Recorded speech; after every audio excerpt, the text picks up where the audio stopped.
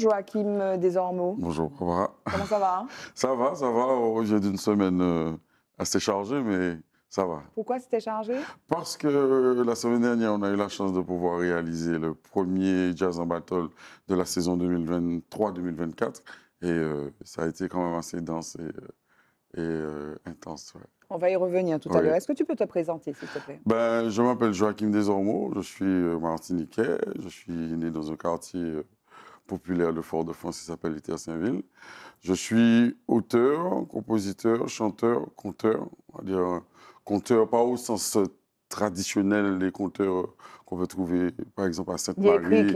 Voilà, je suis co- dire conteur parce que j'aime beaucoup, j'aime raconter des histoires, j'aime raconter, euh, j'aime utiliser le créole dans son jus, c'est-à-dire la, la possibilité qu'il nous donne de structurer des images pour décrire euh, des philosophies de vie ou, ou des scènes de la vie. J'aime bien comme ça composer euh, euh, ces images-là avec le créole et je raconte, j'aime bien raconter des histoires. Donc, Donc tu dans ce conteur. sens-là, donc ce sens-là, je suis conteur. oui. Tu as dit, tu as mentionné Terre-Saint-Ville. Ça, Oui. ça veut dire quoi Être de Terre-Saint-Ville Ah, ben ça veut dire que je, ça va donner peut-être une petite indication sur mon âge. Mais j'ai eu la chance d'être accoudé euh, euh, sur des fenêtres euh, dans ce quartier où à l'époque où, passaient beaucoup de musiciens comme bah, Sculptier, Francisco, enfin beaucoup de, de musiciens. Mon père même était musicien. Euh, j'ai eu la chance de- de- d'être d'être dans un environnement de musiciens euh, des années. Des années 80, ou qui malheureusement ne sont plus là. J'ai eu cette chance-là. Les Terre-Saint-Ville, c'était ce quartier-là de Et René alors- Saint-Père, des personnes comme ça. Ça jouait tout le temps, ça jouait, ça jouait de, dans, dans tous les coins de rue, quasiment. C'est qui ton père? Mon père s'appelle Serge Suffren. D'accord. Voilà. Et donc, tu as évolué dans un milieu de musique? Oui, j'ai grandi dans un milieu de musiciens, donc euh, forcément par, par rapport à l'environnement du quartier. Et puis, euh, j'avais des voisins qui écoutaient beaucoup de jazz, beaucoup de funk des années 80. Donc, c'était Wind and C'est quoi Ah Fire, voilà, j'allais te poser la question. And Fire, Kulan Kulan The Gang, Gang. Charlie Parker, euh, euh, Maceo Parker. Enfin, il y avait beaucoup. Il y avait beaucoup. Mes oreilles ont, ont- beaucoup été imprégnées Mhm. et dès mon- ma, ma- mon- ma jeunesse par, par ce type de musique. Et puis j'ai gardé, j'ai gardé une sensibilité par rapport à, À par, rapport à, par rapport à cela. Et puis j'ai grandi avec ça. Et aujourd'hui, tu vis pas en Martinique? Non, je suis entre, je vis, je vis à Paris, je vis en région parisienne. Mhm. Et tu vis de, de ta musique? Non, Ah ouais? Non, malheureusement, je n'ai pas cette chance-là, mais, euh, mais j'ai des horaires de travail qui me Tu vis permettent de de. quoi? Je travaille au sein d'une régie de transport. voilà, D'accord. parisienne. Et donc, tu as le temps de faire. oui, de je, t'adonner tra- à je ta travaille la- je suis quelqu'un qui vit la nuit, donc je Mhm. travaille la nuit. Donc j'ai la chance de pouvoir être la nuit Mhm. assez seul dans, dans, dans, mon environnement de travail et de pouvoir, euh, comme je suis chanteur, donc euh, je peux chanter comme ça la nuit entre, entre minuit et 6 heures du matin tranquillement Mhm. et travailler ma musique et mes textes euh, sans être gêné. Et alors, c'est vrai que tu as grandi dans cet environnement-là. Oui. Tu as travaillé, donc chanteur, conteur. Tu es initiateur aussi, mais tu es féru de jazz. C'est ça que tu pratiques, de Oui. jazz afro-caribéen. Du jazz afro-caribéen, parce que j'ai j'ai eu la chance d'écouter des musiciens. euh, alors, on ne parle pas de l'ancienne génération, mais il y a des musiciens qui sont très, très actifs, comme Thierry Vaton euh, et ou encore Ma- Mario Canon, je, pense à d'autres de cette génération-là, hein, qui m'ont, euh, par, le, tra- par le travail qu'ils font depuis plus de 30 ans, voire 40 ans pour Mhm. certains, euh, ils m'ont donné une direction, comment est-ce que je pouvais allier la, la culture de chez moi à cet environnement jazz et comment est-ce que je pouvais me mettre, me situer euh, Mhm. sur mes choix et mon orientation. Quoi. Alors, c'est vrai que tu parles beaucoup de Thierry, Thierry Oui. Vaton, qui est pianiste, qui est arrangeur. Et c'est vrai que tu travailles avec lui. Et d'ailleurs, tu, tu as- tu- tu es sur un projet avec lui depuis plusieurs années. Nous, c'est moins. D'ailleurs, c'est écrit sur. Alors, ça fait plusieurs années que je travaille avec lui et Arnaud Dolmen. Et depuis trois ans maintenant, nous avons, juste avant le Covid, on avait, j'avais l'intention de faire un album complet, d'accord, euh, de 13 ou 14 titres. Et puis finalement, il y a eu le, le Covid et le monde a basculé dans un autre, dans un autre mood. Et on ne savait pas exactement où on allait. Et le, ça a été le moment où tout un chacun a dû faire une, intro- une introspection. Et donc, je me suis dit, tiens, on va prendre le temps. On va prendre le temps de délivrer ce qu'on avait envie de délivrer. Et euh, ils m'ont suivi, Arnaud et, et Thierry m'ont suivi dans, ce sens. Et puis, euh, on sort titre par titre. Donc là, on est. euh, Donc, c'est une trilogie sur trois ans. Donc, on est sur la troisième année. Et donc, donc depuis trois ans, effectivement, nous, on sort single par single à peu près tous les trois ou quatre mois. Mais Sur un projet qui s'appelle Où c'est moins où c'est moins Et c'est Ouais. écrit donc sur ton, sur ton très beau t-shirt. Oui, Où c'est- moins. trilogie, c'est exactement ça. J'ai eu la Mais- chance que ce t-shirt ait été fait par euh, Mélibou. Mais alors, donc tu dis trilogie, mais bon, là c'est trois ans. Mais est-ce que c'est trois temps? Et ces trois temps différents, en quoi sont, sont, sont-ils différents ces temps, s'ils le sont? Alors, euh, en fait, c'est- c'est- les temps s'entremêlent en- entre les trois personnalités. Il y a l'aspect, il y a le rythme avec Arnaud Dolmen, il y a le jazz avec, avec Thierry, et puis moi, il y a le conte, en fait. Donc, on, on est, si tu veux, on a entremêlé les temps. C'est surtout la trilogie, le fait de, de, de, de signifier le fait qu'à trois, c'est comme une corde tressée à trois fils, c'est toujours plus solide qu'à deux fils. Et dans ce cas-là, avec, euh, avec la rencontre de Thierry, Vaton, Arnaud Dolmen et moi, euh, on a, on a, on a, c'est déjà une trilogie, euh, une trilogie de, de personnes, de personnes, quoi, en fait. Mhm. Et alors, moi j'ai vu un extrait, enfin, un, le titre, ou c'est moi d'ailleurs, euh, Ouais. sur YouTube. Et alors, je t'ai vu, donc vous étiez en studio, tu Ouais. dis On nous passe paix à la médiocrité, ensemble nous plie fort. Donc c'est vraiment au cœur de ton projet. Oui, c'est vraiment au cœur du projet. Mais c'est quoi le message globalement de, de Ben, ta ça fait tellement longtemps qu'on fait des choses qu'on ne doit pas faire. Je veux pas. En nous, en nous, en nous, en Je ne peux pas. Ah, mais si, en nous, allez. Non, mais moi, je, moi je, je, je prends par exemple. En Martinique, il y a toujours plein de choses à faire. Oui. Vous allez voir, les Antillais, c'est pas parce qu'ils aiment faire la fête, c'est qu'il y a beaucoup artistiquement de choses qui sont proposées dans différentes disciplines, que ce soit la musique, la danse, le ballet. Enfin, il y a- il y, a plein de choses. Il y a toujours des choses à faire. Pourquoi? Parce que nous avons un vivier de création artistique qui est assez extraordinaire. On ne produit pas de bananes, on ne produit pas de canne.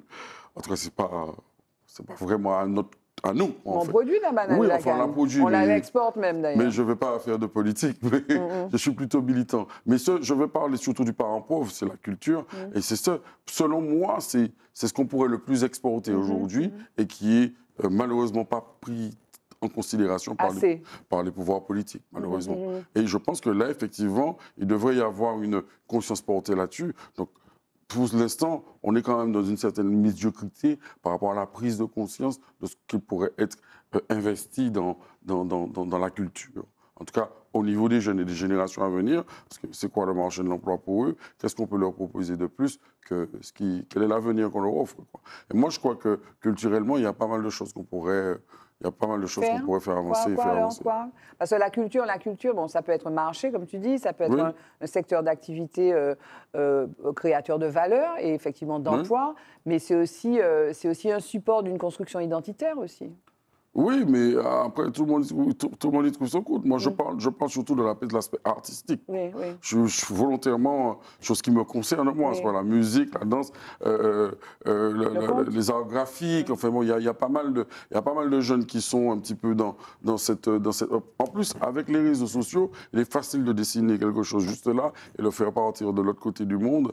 Et euh, Mais qu'est-ce qu'il faudrait faire? Donc, tu parlais des, des, des- des politiques publiques, qu'est-ce qu'il faudrait faire? Oui, je pense qu'il y a une prise en considération de, de la culture qui devrait être beaucoup plus. Qui pas- qui a pas- enfin, non, ici, ici, sur ce plateau, souvent, ça a été dit hein, par Je- des non, artistes. voilà, je n'invente rien, je ne fais que constater qu'effectivement. Et moi, je- j'en veux pour preuve que là, on, a, on est en train, de, avec l'association Jam de de mettre en place ce, ce projet de jam pluri-artistique en essayant de, de, repenser au festival de jazz de façon différente. Plutôt que d'avoir trois jours où il y a 30 musiciens qui viennent et c'est l'usine à gaz avec un pass à 150 euros, où forcément les gens ne vont pas y aller. Je pense qu'il faut mieux élargir l'offre sur toute l'année, mais pour cela, il faut être accompagné par des partenaires. Donc aujourd'hui, effectivement, ben, on fait ce jazz en battle.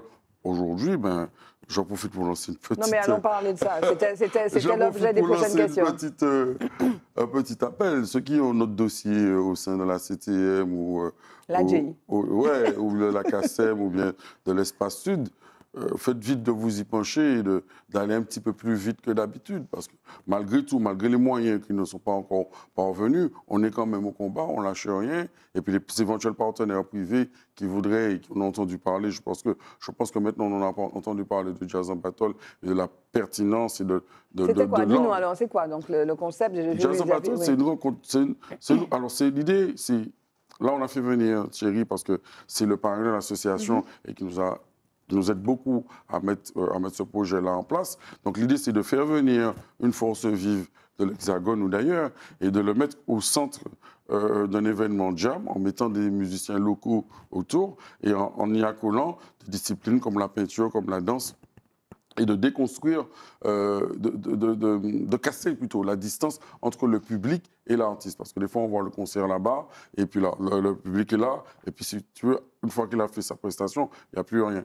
Donc nous, on a envie, euh, en plus le lieu, c'est le, le jardin de Monique, donc il y a une scène un peu où le public peut se passer autour, autour, à 360 degrés. Et puis on, y accole d'autres disciplines et on intègre le public dans ces disciplines-là, que ce soit au niveau de la danse avec un apnée de peinture, en invitant le public à, à, partager ses sentiments avec des couleurs, des formes, cela mené par une artiste peintre aussi. Là, on, y a, on a pu mettre de la danse euh, euh, moderne, jazz et, danse urbaine ça a été très, très très, très mystique, on va dire, très, très mhm. apprécié par le public. Et puis, il y a aussi euh, cette possibilité, donc il y a trois sets, il y a aussi au niveau du, en bout de troisième set, où le public peut monter sur scène, mhm. ceux qui veulent chanter, ceux qui veulent... Euh, c'est jam, quoi. Voilà, c'est jam, quoi. Mais mhm. vraiment très structuré, et ça avec des musiciens qui sont quand même assez chevronnés, plutôt que, bon, le truc, ou bon... Du bon comme ça, quoi. on le fait vraiment, médiocre. Voilà, on le pense vraiment, on le pense vraiment structuré et on le pense vraiment un peu, un peu comme des festivals qu'on peut voir par ailleurs. Donc, c'est le type ce type d'événement-là. Euh, on a 200 idées derrière pour que ça soit encore plus. C'est quoi l'association? Tu l'as dit tellement vite, le nom que j'ai pas. Jam Do Over. Jam Do Jam Do Over. Jam Do Over. OK. Et donc là, il y avait donc c'était euh, c'était euh, le 11 novembre en fait. C'était le 11 novembre. C'était donc la, première édition de, de la saison 2023-2024. En 2024, il y a deux éditions à venir encore. Donc ça va être le 24 février avec d'autres artistes qui vont venir. Et puis euh, Arnaud Dolmen sera là pour, le, pour, le, pour celui du mois de juin. Et puis, on réserve encore des, des, surprises au niveau des disciplines. On va y remettre de la danse, de la peinture. Enfin, on va aller chercher d'autres artistes qui, qui, mais, il y a de plus en plus de personnes et de disciplines qui convergent. Il y a également un village d'exposants avec euh, euh, de, la, dégustation de produits diététiques, de miel. De, et ça se passe sur la côte atlantique ça se Alors, ça se passe ah, au, François, au, François, de Sally. Quand on va, c'est pas compliqué, quand on va. C'est près du C'est au pied du c'est 20 mètres après, à gauche, quand on va en direction du Vauclin, on ne peut pas rater. Mais ce qui est intéressant, c'est que c'est aussi décentralisé, parce que c'est vrai que les activités artistiques, bon, il peut y avoir des scènes ou des maisons de la culture ailleurs, mais c'est vrai que c'est très centralisé à Fort-de-France. Exactement, l'idée, elle est là aussi. C'était ça aussi l'idée Oui, l'idée est là aussi. Alors, il s'est avéré que l'univers a fait qu'on s'est retrouvé là, parce qu'on se retrouve là, parce que c'est une, histoire de famille qui a fait qu'on se retrouve là. Mhm. Je ne veux pas m'étendre dessus, mais c'est vrai que le, ce point géographique-là, mhm. il arrive là et il se trouve qu'effectivement, qu'il nous permet de décentraliser, d'amener cet, cet, événement-là dans mhm. une zone pas forcément euh, très habituée à cela. Et alors, revenons à où c'est moins. Oui. De bon, donc là, tu marches sur deux pieds, quoi. Ton projet Jazz en bateau avec l'association. Et puis, ton projet, perso. Donc c'est quoi? Donc je parlais de ce titre que j'ai vu sur Internet. D'ailleurs, j'ai vu que tu, avais travaillé avec d'autres. Hein, euh, d'autres que Carlo Dolmen et puis oui, alors, alors, Il me semble que j'ai vu Jean-Christophe Rofas. Jean-Christophe Rofas, on a travaillé avec Michel Alibo, on a travaillé avec euh, Célène Septémé, ça c'est pour la partie basse. Au cœur, on a, une, on a eu du, du, Béatrice Ivaton, du ouais. Yambouk qui est une franco-algérienne, Alain Neuss, euh, il y a pas mal, il y a Négrit, il y a pas mal de musiciens. En fait, Thierry Vaton et Arnaud Dolmen me, font des, on va dire des costumes sur mesure par rapport à ma façon de chanter. Je suis entre le chant et le, et, le parler, donc je suis toujours en, rupture entre les deux. Et, euh, et dans le réseau à eux, donc c'est pour ça qu'on prend le temps, parce qu'on essaie, on, voit, on affine, on se dit, tiens, sur tel morceau, c'est tel musicien. Alors, Thierry n'a pas joué tous les pianos. il y a eu Sylvain Rancy aussi, il y a Olivier Bertrac. Euh, voilà, donc en fonction de, de, de, ce qu'on ressent, du ressenti, et puis la personnalité même des musiciens, parce que ce n'est pas seulement leur savoir-faire qui, va, qui va mm. faire qu'on a décidé que ça va être tel pianiste ou tel bassiste, mais il y a aussi euh, la personnalité de ces musiciens et ce qu'ils avaient, qu avaient envie d'exprimer dans, ces, euh, dans ces titres-là. Qu'est-ce qui caractérise ce qui va se passer là euh, Puisque c'est une trilogie, donc c'est quelque chose, c'est un projet évolutif. Donc il y a quelque chose qui se passe au 1er décembre? Au 1er décembre, donc c'est un piano-voix avec Sylvain Rancy. Et c'est toujours l'idée de raconter des histoires. Ça, le titre qui va, qui va venir s'appeler Ida. Et il y a ce morceau. Euh, pas avec Oida. Avec exactement ah, ça. En fait, je suis parti de cette histoire-là. Et euh, je m'étais imaginé que cette Ida qu'on décrit un peu comme si elle a, Maman Ida voyait l'école, ouais, comme si elle, elle, est un peu délurée, ou bien presque, elle mhm. presque une petite, une petite euh, vertu, on pourrait penser. Donc j'ai eu envie de, de, prendre sa défense et puis d'expliquer sa marginalité et de dire que si elle est en marge de ce qui se passe autour d'elle, c'est qu'elle a un rapport avec, avec l'univers et, ce qui se passe dans la nature qui est autre. Et avec Sylvain aussi, on, on sait, euh, on sait, on euh, évoquer cela en fait. Le mot de la fin, ce serait quoi, Joachim? Ensemble, on est plus fort. Encore, toujours, toujours. Ensemble, on est plus fort. Et puis, euh, soyons, soyons vigilants vis-à-vis de nous-mêmes, vis-à-vis de ceux qui sont autour de nous pour que pour qu'on puisse avancer avec la bienveillance. La bienveillance, c'est un terme où on peut tout y mettre. Mais je crois que je crois qu'on peut comprendre ce que je veux dire. Ensemble, on est plus fort. Ensemble, on est plus fort. Merci, Joachim Desormeaux. Je t'en prie, merci à toi.